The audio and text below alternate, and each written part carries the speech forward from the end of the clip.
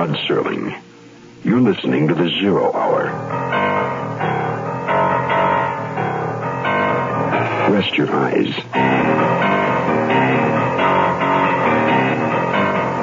Exercise your imagination. Today, Keith Walker's robbed through the vineyards of horror. Why is Ted Marcosi driving Aunt Sally insane? Lyle Waggoner. In a mutual broadcasting system presentation of The Zero Hour. Brought to you by the Ford Motor Company, Beechnut Chewing Tobacco, Schenley Industries, Mateus Wine, and Kodak. This is the Zero Hour on Mutual Radio.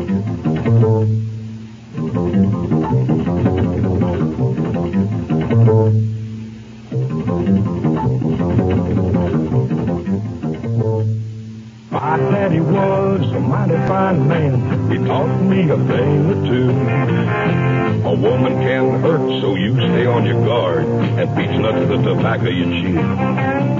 Them times we'd go fishing, my daddy and me.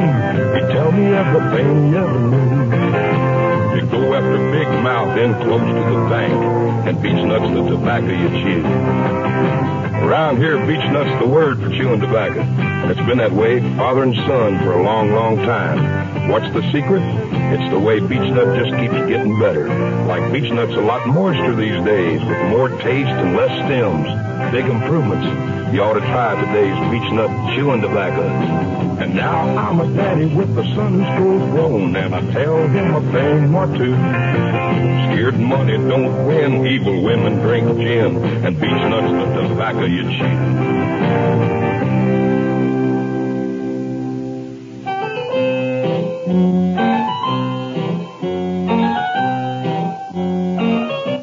This tale of doom has something for everybody, even Aunt Sally's. A kindly old spinster who just happens to be rich. Join us now in the great dining hall of the Marcosi mansion for Why is Ted Marcosi driving Aunt Sally insane? Does the madam wish anything more? Oh, Ernesto, my compliments. Rosalie is truly a fine cook. Madam, our hearts are but to serve you. I will bring dessert. Now, where could that good-for-nothing nephew of mine be? Oh, get away. Ernesto, someone. A frog, for God's sake. There's a frog in my plate. Madam, Take it away. Take it away. It's ghastly. I'm sorry, madam. How could a frog... It fell from the ceiling. A froggy! Froggy! Oh, it's in the salad platter. It's in the salad platter. I haven't, madam. I will dispose. Lordy, a frog. Now, how could a... Good evening, Auntie.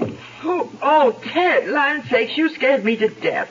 Where have you been? Dinner's over and the most awful... Why, Auntie, you look positively white. Well, you would be too if a frog fell in your dinner plate. Hmm, perhaps he was only looking for a home. Oh, Ted, I love you, gads, but it's good to have the breath of life in this old mausoleum. I'm glad you invited me. Will you be able to stay the summer? Of course. The city's become a bore, and I wouldn't think of leaving you.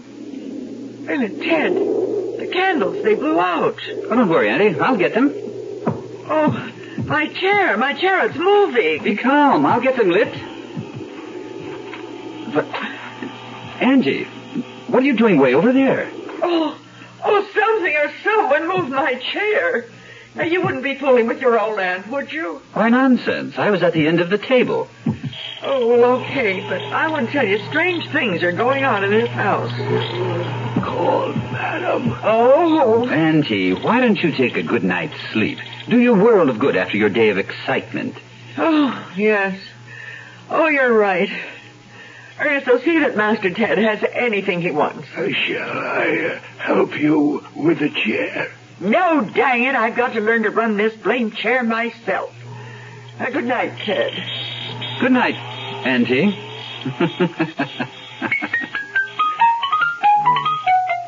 damn. Should have had this elevator built larger. Come on, chair. Do your stuff. Have to have this chair beefed up. Ah! Madame, Madame, are you all right? Oh, Rosla. Rosla, the knight tried to kill me. But Madame, it is only empty armor. Don't contradict me. Look. Could that be? Damned if I know. I looked up and its battle axe was swinging down. And see how deep it has cut into the floor. I shall look inside it. No one is in there, Madame. Oh, enough. I'm going to bed. Tell Ernesto to cart it down to the cellar with the rest of the medieval junk. I never did understand my late husband's preoccupation with that stuff. And Rosla, Yes, Madame. be sure I'm awakened when my niece arrives in the morning.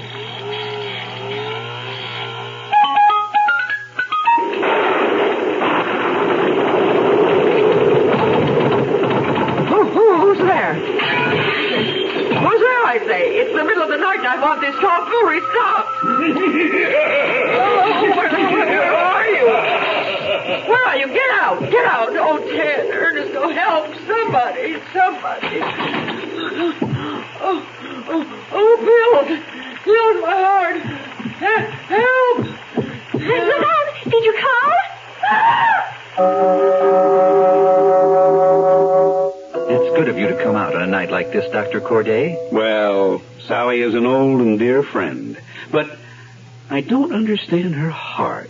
It hasn't acted up in years. Are, are you sure nothing unusual happened here tonight? Oh, no, Doctor. Not a thing. You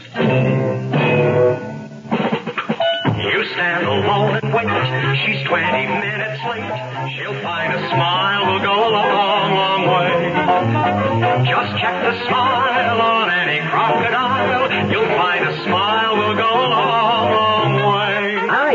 Savor those smiles in great pictures with Kodak's Pocket Smile Saver Kit. You get the newest, littlest pocket instamatic camera, a roll of color film, magic cubes, extender, a handsome carrying case, and more. All for less than $30. So you save money while you save those smiles. The Kodak Pocket Smile Saver Kit at your photo dealers for a limited time only. With just a little cheer that spreads from ear to ear, a little smile will help your light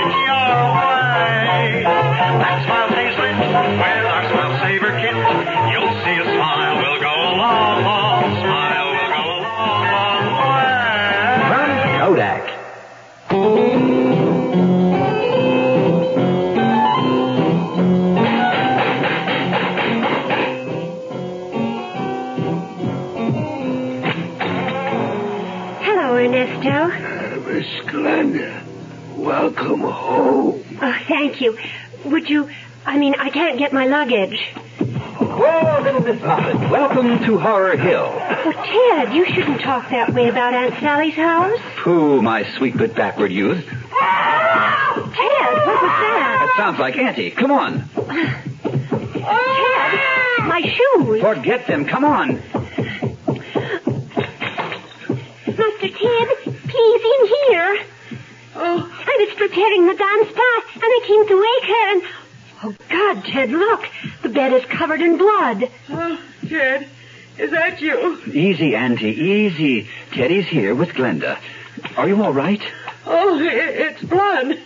Someone's poured blood all over me. Rosala, get Ernesto to burn the bedding. Glenda, help me get Auntie in her bath. Glenda? Relax, Aunt Sally. Let Ted get you into the tub. Uh, maybe you'd better help her. I'll check on Ernesto. Okay. Oh, Glenda, I'm so glad you've come. The most terrible things have been happening. Ever since Ted arrived. Oh, no, no, he couldn't. Couldn't what? Do you think he had something to do with the blood? I don't know, truly. He's always been so attentive. But I must confess, it all started with his arrival. Lights go off when I'm in the room, go on in the middle of the night. Two days ago, my wheelchair lost a wheel in the garden, right near the edge of the cliff. But tell me something, you see him much more than I do. Is he all right? Oh, I shouldn't tell you this, but Ted is heavily in debt. I know because he tried to borrow from me. Practically demanded that I take money from Father's trust. I, uh, I didn't give him anything. But my brother left him a fortune. I told him it was time he started acting like a man and did something with his life. Well, you could have given him some, you know. Your share of the estate was just as large. Well, perhaps. Well, never mind. I'll talk with him. Now let me look at you. Oh, my dear niece, must you look like such a frump? Goodness, look at the way you've got your hair. Well, it's the way it's most comfortable. Oh, bah. How do you think you'll ever attract a young man? And look at that frock. Off a rack. I don't think I'll ever attract anybody. But Ted thinks I look pretty. Well, Ted can't marry you. We'll just have to do something about you, or you'll end up a shriveled old lady like me. Ted? Ted, where are you? Up here, top of the elevator shaft. Well, you've really made a mess of our plan. The old girl is getting suspicious.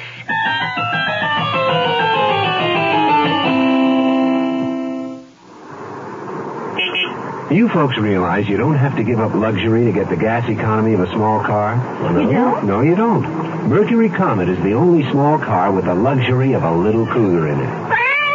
That's just one reason why this year Comet outsold Fiat, Audi, or Volvo. I didn't know that. I didn't know that either. You're looking for a small car with good resale value? No. Well, here's an interesting fact you ought to know.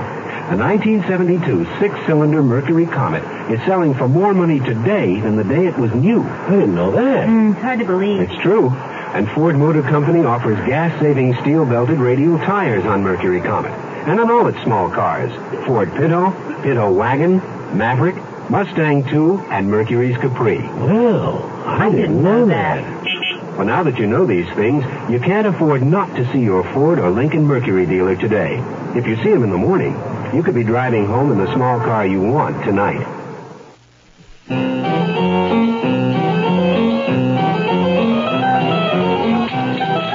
Suspicious.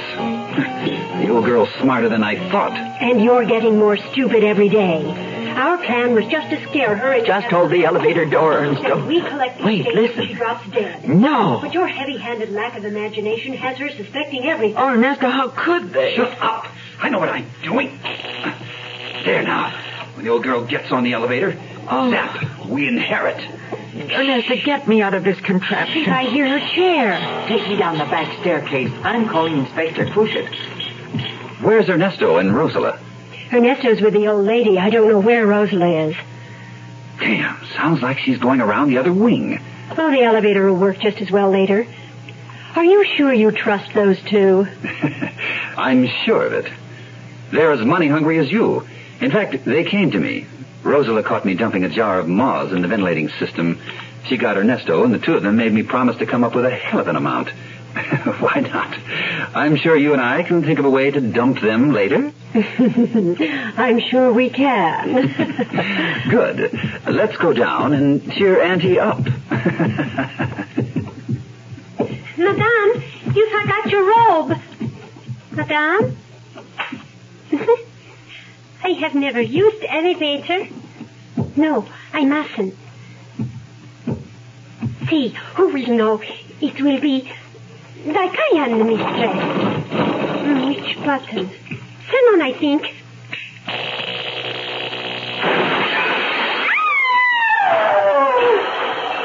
Oh, God, what now?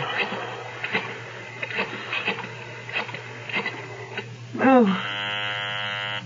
Oh, please, please answer. Oakland's, please. Hello, hello, this is Sally Marcosi. Uh, you'll have to speak up, man. Hello, hello. Oh, dear God.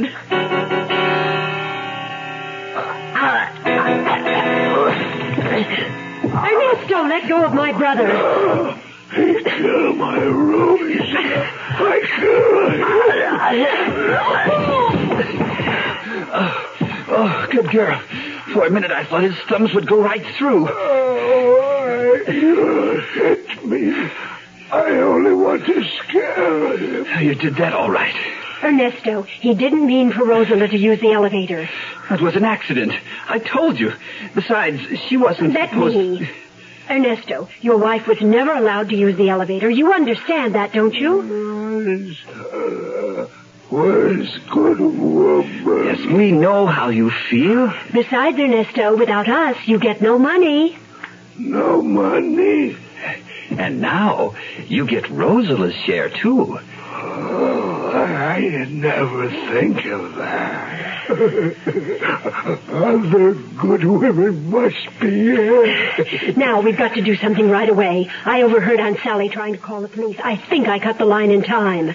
Well, now that she knows, we'll just have to increase our terror tactics. Ted, why don't we just... Well, you know. Kill her? now listen, you've got to understand. She must die of a heart attack, so there's no investigation. Let's go. I've got an idea. I hope you know what you're doing. This place gives me bumps. Look at that old guillotine. Come here, look at this.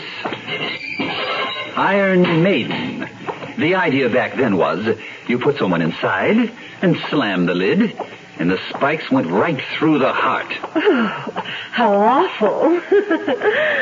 Ernest, no. I don't like it down here. Come in, Auntie. We have a surprise for you. Ted, Glenda, don't, you can't. I've always treated you like my own. Shut up. Ernesto, wheel Auntie over by that wall. Oh, what are you going to do? Why, that's simple, Auntie. Stand away, Ernesto.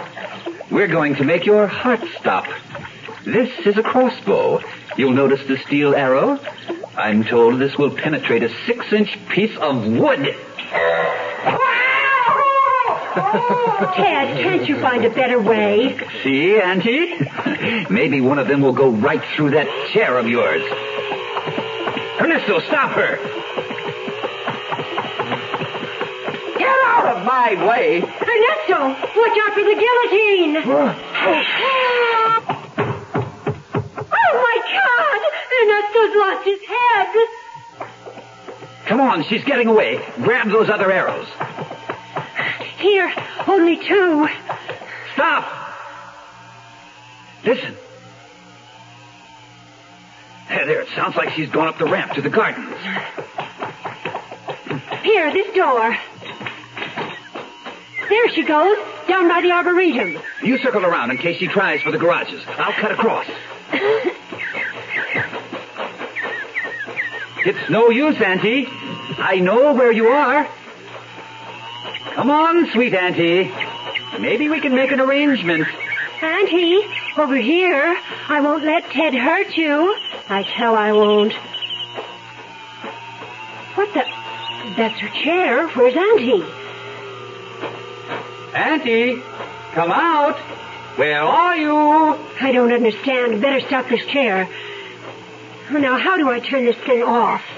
I see you, Auntie.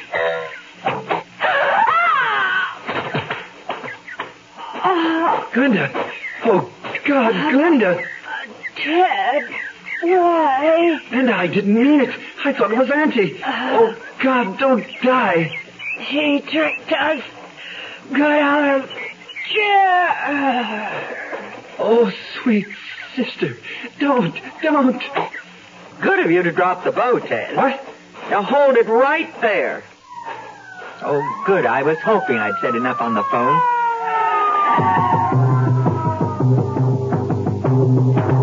I do not understand it, Herr Shermatis. I have known that boy all his life. More than a shame, Inspector Fouchard. Fouché. If only they had waited a few more days. A few more days? Yes. You know, there was a special secret clause in their father's will. Why, when the two reached 30, they would receive the rest of their inheritance. The rest? Was it much? Oh, yes, it was a great deal. My brother must have known his children very well.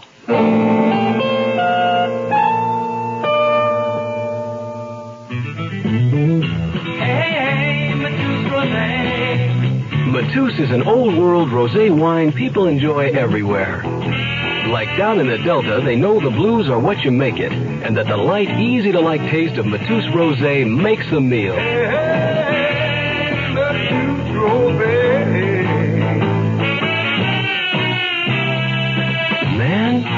Coast, Mateus is out of sight, but you see it everywhere.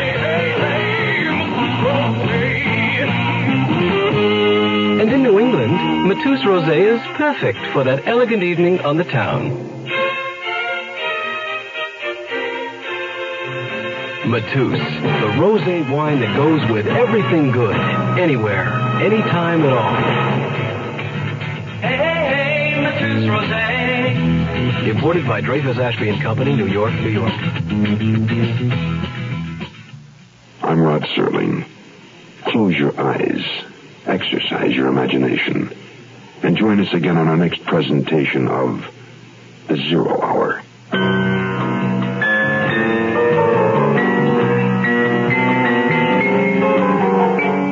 Why is Ted Marcosi driving Aunt Sally insane is an original radio drama by Keith Walker. Lyle Waggoner was heard as Ted Marcosi. Featured in the cast were Arlene Harris, Rhoda Williams, Lou Krugman, and Herb Vigran. Zero Hour, created by J.M. Kholos, directed by Don Hills, is produced in Hollywood for the Mutual Broadcasting System by Radio Productions Incorporated. Music is composed and conducted by Stanley D. Hoffman. Rochelle Sherman, associate producer. This has been a presentation of the Mutual Broadcasting System.